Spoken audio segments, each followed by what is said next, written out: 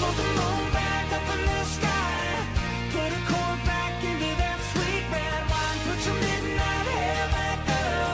you can let it fall one more time. I'll touch your skin, I'll kiss your lips and kiss them again. So good, so right.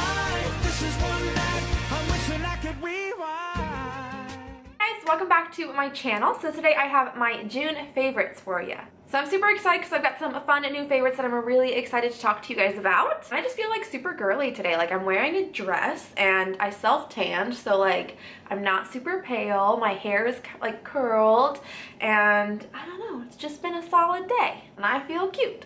Anyways, let's go ahead and jump into my beauty favorites. So, first thing that I have been obsessed with in the month of June is the Younique mascara. I used this, I think, in my last Get Ready With Me video, which was my, like, simple summer makeup. And this mascara is literally incredible. I'm sure you guys have probably heard about it because there are quite a few like demo like review style videos on youtube. Um, but like i said i did use it in my last video if you guys were interested.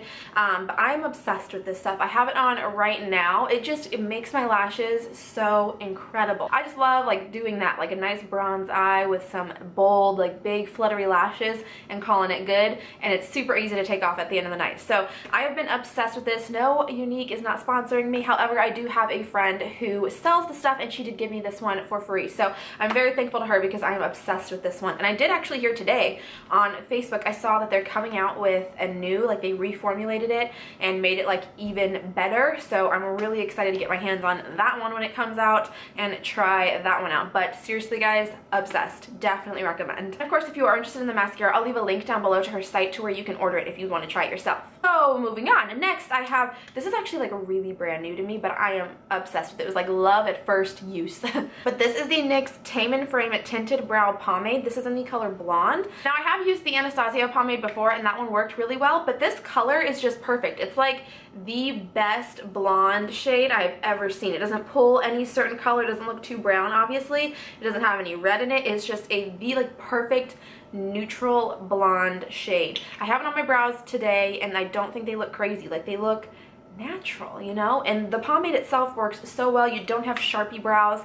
It just looks so beautiful and natural and it's great for summer because pomades last like nobody's business. Next I have a cheek product. This is a blush. This is the Tarte 12 hour or the Amazonian Clay 12 hour blush in Exposed, which I think I mentioned on my channel once before and I know I've probably used it in a video. But this blush is beautiful. It's an like it's I can't even, I can't even get my like thoughts straight on it. I just am so in love with it. It's the perfect blush for every single day and it just gives you that like, oh, I've been out in the sun, you know, doing whatever and I'm glowing like kind of look. So I love this blush. I use it almost every single day. So next I have a foundation. It's also from Tarte, which I didn't even realize that I had two Tarte products in here. But this is the Amazonian Clay Full Coverage Foundation. It's got SPF 15. I am in the shade Ivory. And this foundation is just incredible for summertime. Like you probably wouldn't think that you want to wear like a full coverage foundation for summer because you know sometimes it just sweats off. But with where I work and I work like downtown, it's super hot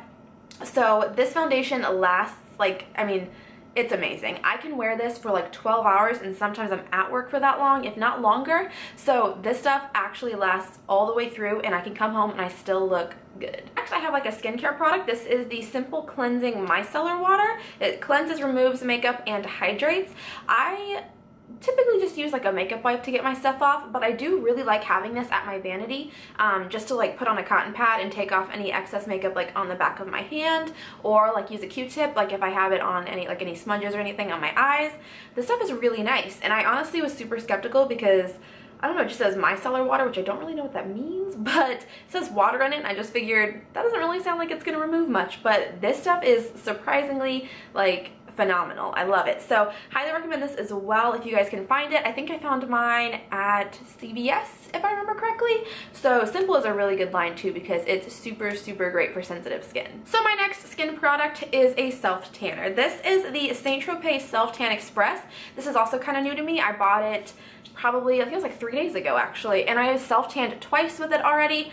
I am in love. Probably like my favorite self-tanner that I have used so far, and I've used quite a few, and most of them have actually been St. Tropez, and this one is just incredible. It's the one hour tan, so you can wear it for one hour and get like a light tan, you can wear it for two hours and get a medium tan, or you can get it, or you can wear it for three hours and get a dark tan.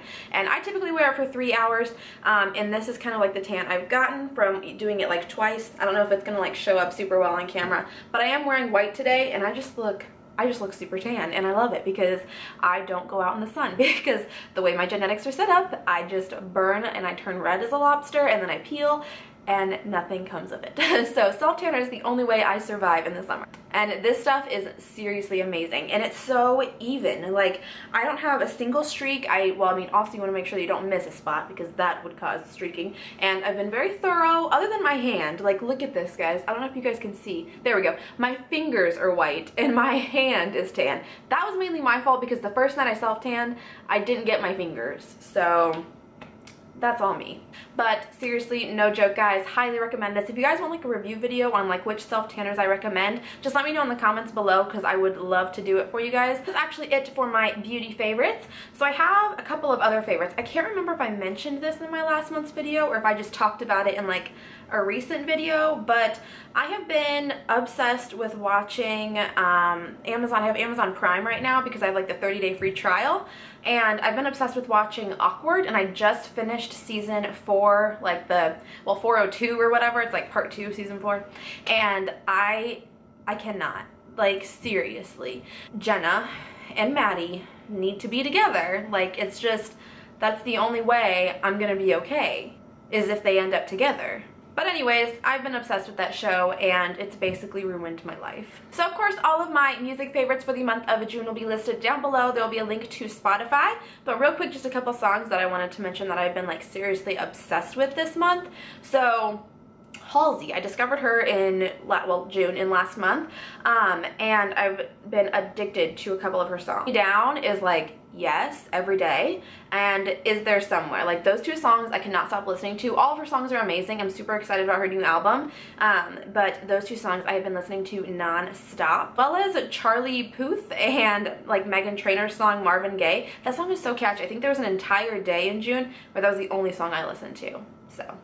Yellowcard, which I know is kind of like, I guess, old school, if you will, but Only One and Ocean Avenue are just classics. And I've just been listening to them so often. Like, I heard them at work, like, recently, and I was like, ah, yeah, throwback, perfect. So yeah, I hope you guys enjoyed this video. Thank you so, so much for watching, and I can't wait to talk to you in my next one. Bye, guys!